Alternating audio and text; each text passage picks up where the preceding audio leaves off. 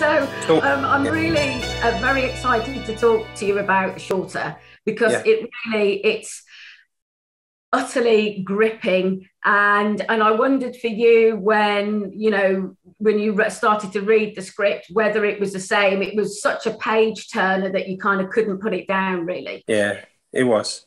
It really was uh, yeah, it really was. And then uh, when I was done reading it, I was like, "Is it over already?" You know. And then I checked the pages, and I was like, "All right, there's enough pages. This is an actual movie." so yeah, it was exactly the same for me uh, in that sense. I read it, and I just I knew I wanted to do it, and I I uh, I was happy about uh, Simon, and we did we did a uh, workshop with Frederik and others who are the directors and writers of the movie and uh, I wasn't sure if. Uh, then I, I, I, didn't hear uh, for a long time. I didn't hear anything, and then Frederik and I met up at, a, at another uh, job for Danish television, and he goes, "Yeah, we got the money to make the movie," and I'm like, "Okay, I didn't even know I was in the movie." And he's like, "What do you mean? What do you mean?" Of course you're in the movie, and well, uh, no one's told me so because I figured they would have other people doing the workshop. You know, that's so they were trying to casting around a little bit, which I then at a later date found out that they were. They actually had other people in there, but for some reason, no one ever told me that the part was mine. so we laughed about that. And Frederik, he got, I think he had like a miniature uh, nervous breakdown because he was like, You are available, right? And I was like, Yeah, yeah, it's all right. so uh, it's fun. Good stuff. It, it, it, and it, and it really is, and, and you are absolutely tremendous in it. Well, you all are. I mean, we'll, we'll, we'll sort of talk about the dynamics between the sort of characters in a bit. But with regards to, to Mike, I mean, the, the, all, all of the characters are so that sort of multi-dimensional, aren't they? They, you know, Mike, he isn't a good guy. He's not a bad guy. He's he is flawed. And I thought maybe for you as an actor to to kind of portray a part that is so layered um, must have been very exciting too. Yeah, it is. It is. Uh, yeah, it's like you said. You you basically said it all. But I mean, it's uh, it's a it's a he's a product of his environment, and then that's how I see it. And then through the movie, he gets to show himself and the people around him what he was like when he was uh, when he was Tarek's age, you know, Amos's age and uh, I think they have a great. I mean, uh, when he walks around in his room and see all his uh, soccer uh, prizes and that, he, he kind of. He, I think he's standing in his own room in some sense when he was 14, 15, maybe a little older, and uh, and uh, that's just a great. When you read that in the script and then you start doing the part, it's that's a great thing to have because then you know that you can portray him as vicious and uh, uh, broken in the beginning as you want to because you have that to fall back on later in the movie. You have that sequence to fall back and that's just a great cushion to have as an actor that you don't have to uh, you, you know you don't have to like compartmentalize uh, uh, certain uh, certain areas of the part to to and maybe that's a wrong description but you you can go full out. You can go full out in the in the uh, how uh, what a big racist he is what a um, his ego his ego and his uh, you know his dominant uh, male uh, attitude and all that because you have that drawback. It's just a great it's a great thing to have when you start working. And that's the, I suppose that's the beauty uh, and the um, the excellence in the writing as well is that you know, threaded through kind of that you, you get these sort of breadcrumbs that yeah. then help inform yeah. the whole sort of backstory of, of your character, really, isn't it? Yeah. Um, so yeah, I mean that's really really, and I think that's uh, uh, again, I mean I'm a huge fan of of Danish drama, and um, and and you know what one of the things I always enjoy about it is that it's unapologetic in the sense that it it's prepared to say things as they are. And I feel mm. with this film, it holds a mirror up to, you know, that there is racism in Denmark, as there are sadly in many countries. And and you know, by by holding that mirror up and saying, look, this is what's happening in our country, then it starts a discussion and hopefully things can start to change. Is that yeah. something as well that you find yeah. was interesting? Yeah, in our case, it's more like this is a uh, the future to come if we're not careful. I mean, uh, we are not as I mean we do, we don't have a, a, as as big a problem as they do in the states and the whole you know the, obviously you've seen the whole George Floyd thing which happened after we made our movie, which is just crazy because it's just like we did that scene almost like it was in the script, you know. Uh, so uh, this was a this was a, a dark future to come uh, if we if we're not careful. And then so I thought at least because then we are out there shooting a movie and and just by being actors in a police uniform with our short haircuts and we had so many people yelling at us, you know, during the shoot. And it was just i was like it freaked me out. And i was like i was so surprised that there, there's this anger towards uh, uh, uh, the police because that's that's what it was. We didn't even have time to explain to them that we were shooting a movie. They were just riding uh, past us on mopeds and yelling at us and giving us the finger and uh, saying that now you're coming here to portray uh, a bad image of us again. And and we didn't even we didn't even get to talk to them. So of course it fueled the the the the atmosphere of the movie, but it wasn't a it didn't give me a, a positive sense of where we are as a nation in this. And and um, I mean, interestingly enough, because Tarek was was I had uh, the the pleasure of interviewing him the other day, and I hadn't realised that from the casting perspective for him, he was kind of plucked out of obscurity, and he yeah. is is is a, a, a, guy that actually lives within. Those kind of estates. Um, and I wondered whether for you then, uh, for you and Simon, um, reacting and acting against somebody where it, it's it's all quite raw because this is that's the world he lives in. How did that help inform both of you as well? Well, we could ask him about certain environmental uh, moods that where he grew up and uh, but he's a smart kid tarek is a smart kid and he's studying to be uh, uh, he's studying law and he wants to be a lawyer and I mean he doesn't represent the uh, how do you say the, the the the kids that are having these uh, anger uh, issues at those areas where he lives, but he's seen it and he knows it. So he was good at describing the problem and good at describing the scenario whenever we were. Uh, so he he was our he was our little you know inspirational bank so to speak, and um, but I mean I hope the best for him. And I think that he's going to have a he has a great future ahead of him. And even if he wants to uh, and if he wants to act also I think he's doing great in the movie.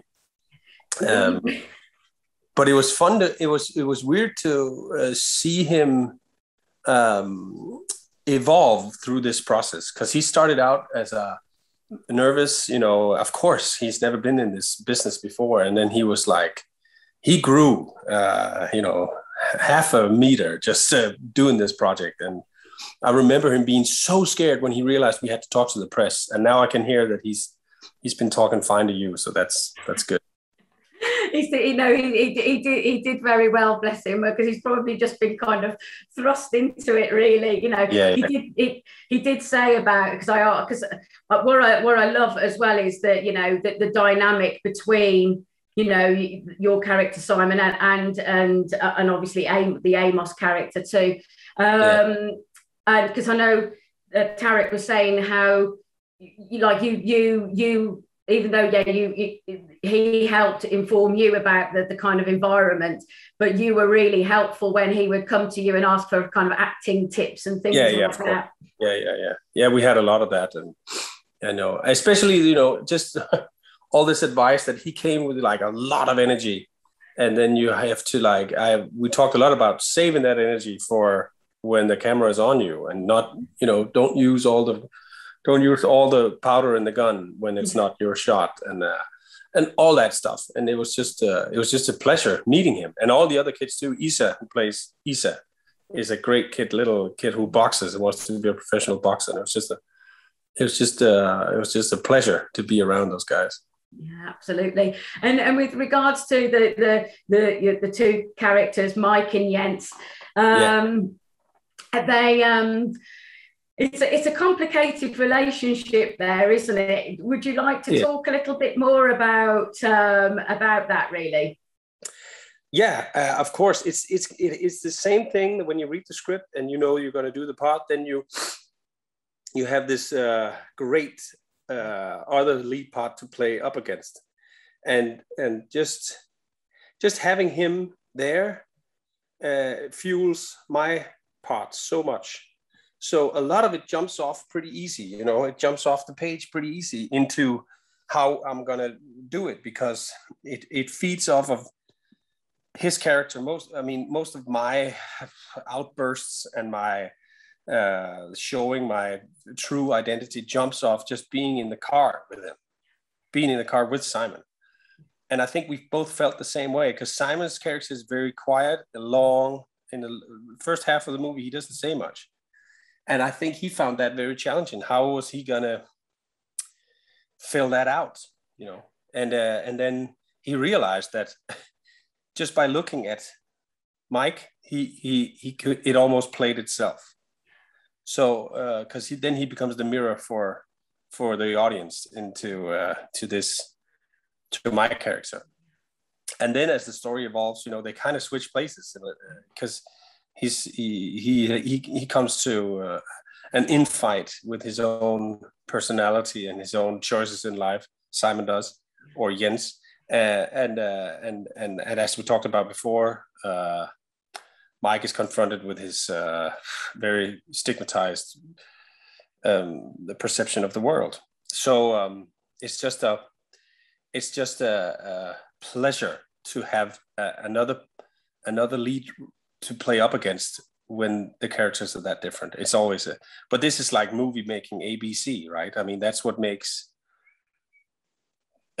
you know that's what makes great partnerships in in, in movie in movies yeah. yeah i mean you got it that you, you are great scene partners and you do kind of bounce very well um off off each other i wonder and i didn't know him i didn't know simon before yeah. and but i it's funny we talked about this and he didn't know uh, me other from like a few things he'd seen and i'd seen him he kind of break broke through in a in a leading role in a tv series for danish national television uh, and then but i just knew right away this was going to work. As soon as I knew that it was him, then I just I just knew this was going to work. And sometimes you have that feeling, because trust me, other times you have another feeling. you know, you, and you're just stuck. You and then long uh, days. Worried about is this going to work or is this not going to? And with Simon, I just knew this was going to work. Uh, That's in, in like an instinct, really. Just uh, yeah. And, and because we see so many kind of different facets of Mike's personality. With regards to your sort of preparation, are you an actor that do you listen to certain kinds of music to kind of get you in the right headspace? How do you prepare? It's funny you asked this. I, I used to when I just finished acting school and was young, and I did a lot of things to prepare for whatever. I, I you know I I read a lot of backstory and I made up my own backstory about the parts and I listened to music and I meditated and I all that stuff. And then I realized that it's for me at least it's it's a lot of wasted powder because when you when you come to the set everything is not what you expected it to be. So i find it much easier to to uh, be prepared for the whole story of course and be prepared for what the part is about and where does it start and where does it go and have a have an idea about that. And usually you have a lot of meetings also with the directors and also in this case.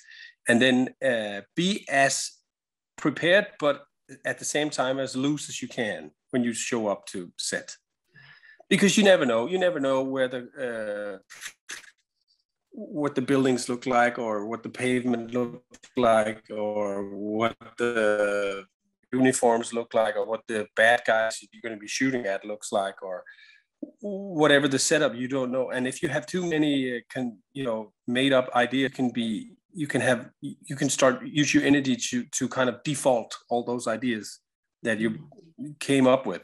Not to say that you're not gonna that you show up as a blank page. That's not what i'm saying at all. I have uh, tons of ideas when i come to set but it's ideas. It's not uh, it's not things that i have decided for myself this is what the part is about and he's like this and he's like this. Because i've sat in a lot of discussions with directors where i've said where I, I have tried to like pull it back to my own perception of what it was and uh, and if you ask me now i think that being an actor is you you are you are the the extended uh, thought of, of the director's mind. Yeah. Uh, you are. And i know that i have colleagues i know that i have colleagues that don't that don't necessarily agree with me on this but this that's what works for me. My job is to fulfill the director's vision. And I can't do that if I've if I sit too heavy on my own chair of ideas. You know what I mean? Cluttered your head with ideas, really. Yeah, yeah, yeah. and, so come as I come as prepared as I can, but as at the same time as open and as loose as I can. That's what works best for me. Yeah, you've just kind of got to sort of let it go, really, and just yeah. allow yourself to enjoy being in the moment and yeah, see yeah. the magic that comes from again yeah, that kind of act, you know uh, acting and reacting to the the situation environment that you're in absolutely yeah absolutely. yeah and, and finally before i let you go i just wanted to ask what you've sort of taken away with you from being a part of the film. It's so it's so strange for me to, to imagine that i hadn't done this movie. It's it's funny to think about it like that because it's it's brought a lot of uh, well it's brought a lot of attention my way and it, I, I went to i went to travel around the world to festivals with this movie because it had it, it, it's having a great international life so to speak. And uh, so there's that uh, that that's all practical and just fun and uh, and great uh, publicity and all that stuff. But it has um, uh, it has uh, it's it's taught me a lot about playing the lead character. Because I've been playing uh, side uh, supporting characters yeah. for a long, long time, and uh, and I enjoyed that immensely. But to be the lead character is a different exercise, and it's it's it's kind of standing in the middle of the whole thing, and then uh, and then uh, uh, respond to the actions that happens around him. But you have to want you have to want to stand there in the middle that's something I have realized, you know, and this has really helped me with that, with training, uh, training to just stand in the middle. And just I imagine, as, sort of, as well as the leads as well, you're, um, you know, everybody's looking to you to set the tone, you know, the mood. Yeah.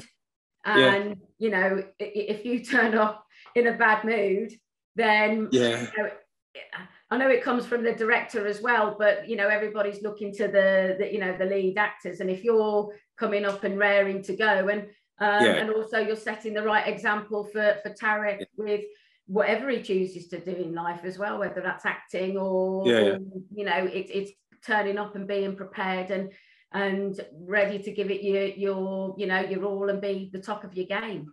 Yeah, yeah, all that.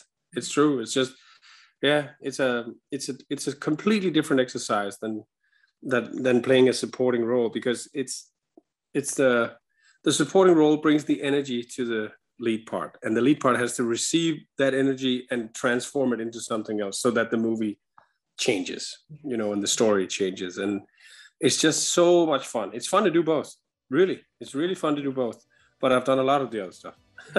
No, so uh, just it's just a, it's just a, it's great to be there, and I'm I'm very thankful for the for the whole project.